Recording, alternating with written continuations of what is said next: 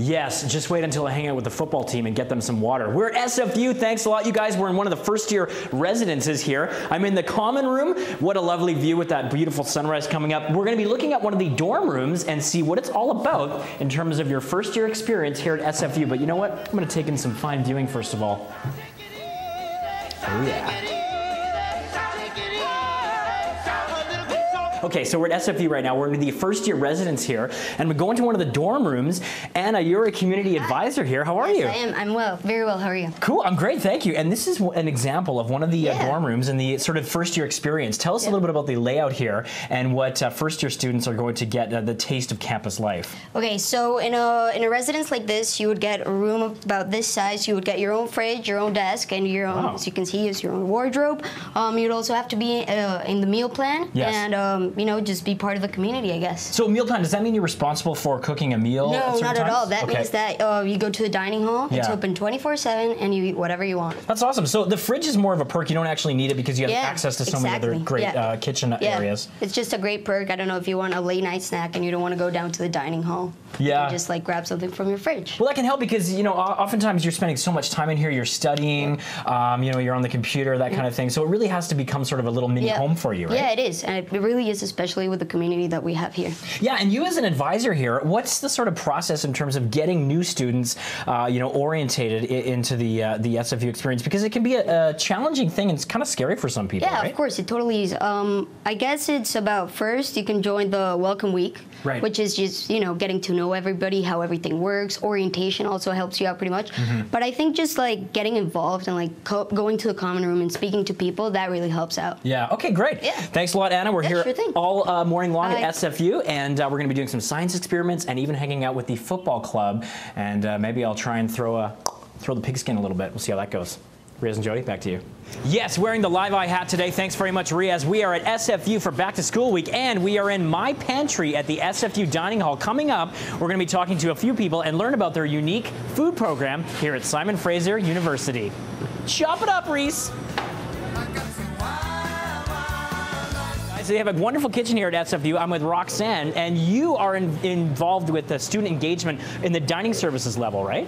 Absolutely. We do a lot of fun promotions, Yeah. contests, just great things to get the students excited about eating and preparing food. Well, that's so much part of the experience because you need food for the body and the mind when you're when you're at school. Talk to me about why My Pantry is unique to SFU. This is fantastic. We've got a full kitchen in here that's just stocked, ready to go for the students. So they can actually make whatever they want. They can bring recipes from home Yeah. or work off of each other and find out what's exciting in their own kitchens. Wonderful, all kinds of fresh food, and you can just go in here and pick it out. And it must be great to have like uh, other people do the shopping for you, essentially, because you're so busy as it is, right? Oh, shopping for you, menu preparation, and chefs to help out. Yeah, and you had a really cool event here last year. It was sort of an Iron Chef spin-off, right? We did. We do like to do a lot of different things like that. So Iron Chef was one of them, and I think actually you might meet our winner today. Okay, thanks a lot, Roxanne. Without further ado, yes, we'll go over to Reese. Reese, you were the winner of the Iron Chef Challenge here. Thanks for uh, joining us today. Hey, no worries. I'll uh, let you keep going. You're making a wonderful little omelet here, but talk to me about why you enjoy this sort of My Pantry system here at SFU.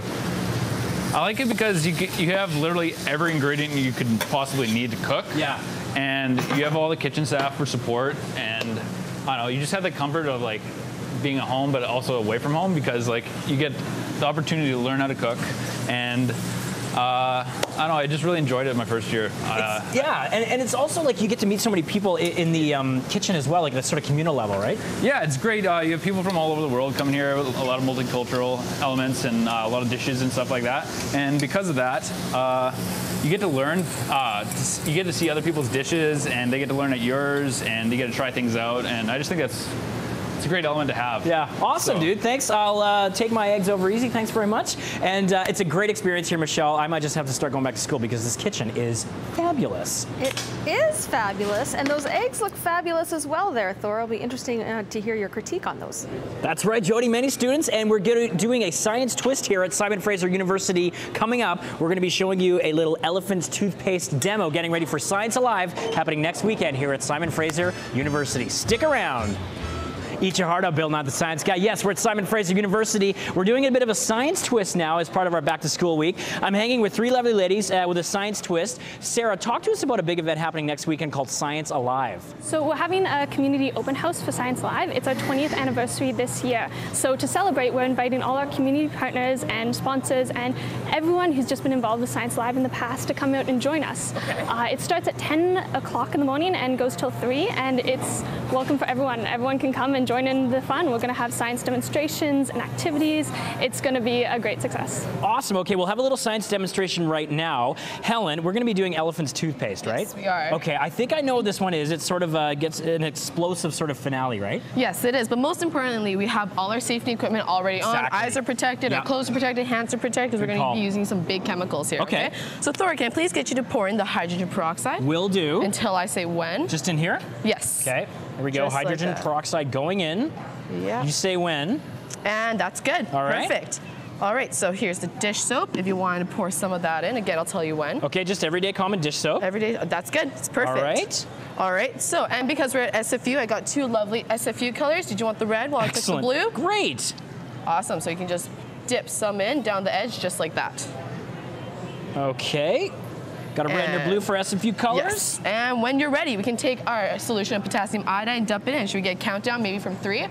Three, Three, two, two, one. one. The whole thing? Whole thing. Now move your arm.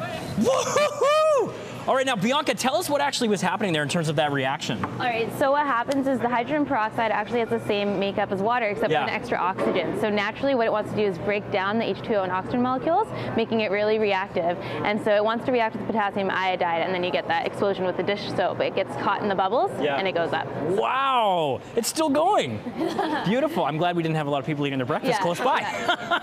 awesome stuff, you guys. It's Science Alive, right? Yes. Okay, that's happening next weekend at SFU. Thanks so much. Wonderful stuff here. We got all kinds of great stuff coming up. We got a full weather report from Russ. It's going to be a hot one on the weekend. And later on in the live, I, I will be joining the football team temporarily. That is. Stick around. That's right, Marias. We're at SFU. We're outside, and coming up, we're going to be uh, talking to a few members of the SFU football team. Hi. Yeah. We're running some drills. Hit me. We're going to be giving 110%, I tell you. Throw it Thanks a lot, down. you guys. We're talking to members of the SFU football team. Michael, how exciting is it? I got this thing in, so it's a little tough. How exciting is it to be back for another season? I can't wait. I mean, we've all been training really hard all summer, and to get out there on Saturday, it's just going to be awesome. Right on. Okay, thanks, Keenan. Uh, talk to me about sort of the uh, preparation that goes in and the camar- camaraderie of the team building. Well, we, we all are sacrificing our summers being out here training. Um, we got training camp, we got practice, so we're all really close because we've all put in the work together, and uh, yeah, it just brings us closer together as a team, knowing that everybody put in that work. Awesome. All right. Now, there's a big game coming up on Saturday. Derek, tell us all about that. Yeah, we have a new coaching staff. I think a new team in general at all, and we're very excited for the game. Supposed to have a lot of fans out there, and ready to show out and show what we have. So it'll be at Swangard Stadium on Swangard Saturday, Stadium, right? yes, at 12 o'clock. 12 o'clock. Who you guys playing? Versus Menlo, Menlo College down Okay. in California. And tickets are as low as eight dollars actually for that as $8, well. yes. Okay, thanks a lot. Uh, and Jacques, you are the coach here, and uh, talk to me about the importance of sort of uh, the team building and just uh, you know making sure all the guys are properly motivated for the practices and the games. Yeah, well, we've got a great bunch of guys here, you know, and then coming into the situation last year in the spring, we had an opportunity to go through spring camp. And uh, I think that the fellows have worked really hard. We've got, like I said, good character people. And I do believe that uh, one of the keys uh, to our success this year will be uh, to stay together as a family. And the guys have really uh, done well doing this through training camp this fall. Okay, take me through one of the drills. Actually, speaking of training camp, this is sort of a setup that you would see similar to uh, to what the guys go through, Yeah, right? we're going to have a, a little bit of a hybrid drill here Okay. because you're a special athlete, really, for us. That's right. And very then, uh, so this is uh, Justin will basically take you through this drill. We'll Yeah. step over these bags here Yeah. sideways like a running back would. Okay. You'll take the ball from Justin. He'll throw you the ball. So that, that'll display your receiver skills, first of all.